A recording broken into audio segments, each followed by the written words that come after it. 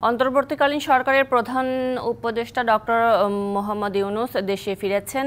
এ বিষয়ে আরও বিস্তারিতভাবে জানাতে তার গুলশানের বাসভবনের সামনে থেকে আমাদের সাথে সরাসরি যুক্ত হচ্ছেন সহকর্মী মোহন ইসলাম।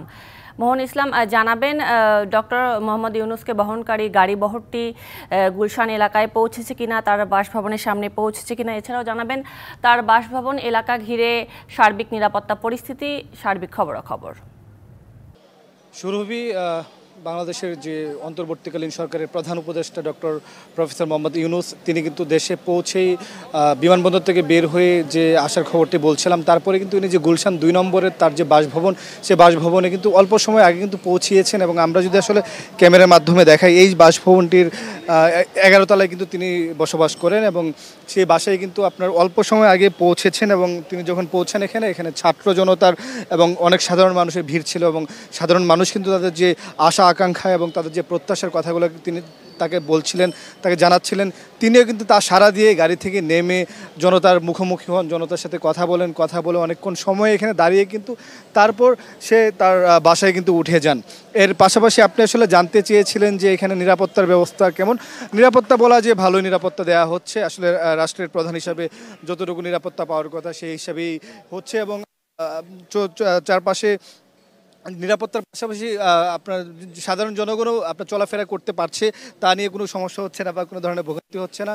এবং যারা নিরাপত্তা বাহিনীর সদস্যরা রয়েছেন, বাংলাদেশ সেনাবাহিনী রয়েছেন, পাশাপাশি বিভিন্ন গোয়েন্দা সংস্থা যারা রয়েছেন, তারা কিন্তু দেখভাল করছেন যে কোনো ধরনের অনাকাঙ্ক্ষিত ঘটনা না ঘটে এবং তাকে সর্বোচ্চ নিরাপত্তা দেওয়ার যে বিষয়টি, সেই বিষয়টি রাখা হচ্ছে। কিন্তু বলি যে আসলে রাস্তা ব্লক দেওয়া হবে বা জনগণকে আটকে তারপর রাষ্ট্রপ্রধানকে আনতে দেওয়া হবে, এই ধরনের কোনো ঘটনা কিন্তু ঘটেনি। Thank you.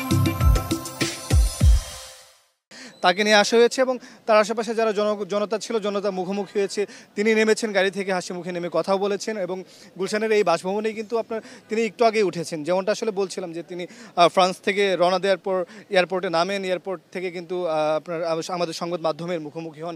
অনেক ধরনের কথা বলেন, অনেক প্রশ্নের উত্তর দেন। তিনি জানান যে আগামীর বাংলাদেশ গঠনে তিনি কি ভূমিকা রাখবেন এবং এখানে যারা ছাত্র জনতা রয়েছে, আমরা তাদের সাথে কথা বলেছিলাম। তারাও কিন্তু জানাচ্ছিলেন তাদের আকাঙ্ক্ষার কথা আসার কথা তিনি তারা কিন্তু বলছিলেন যে, যেহেতু নোবেল বিজয়ী ডক্টর মোহাম্মদ ইউনুস, সারা বিশ্বে তিনি পরিচিত এবং সারা বিশ্বের মানুষ তার কথা জানেন। সেই জায়গা থেকে অনেক প্রত্যাশা রয়েছে যেন আগামী কয়েক বছরের মধ্যে বা যত সময় পান, দেশটাকে একটি সোনার প্রকৃত পক্ষে সোনার বাংলাদেশ, যেটা সেই সোনার বাংলাদেশ, সুশাসনের সোনার বাংলাদেশ গড়ে তোলে। সুরভি, এই ছিল সর্বশেষ।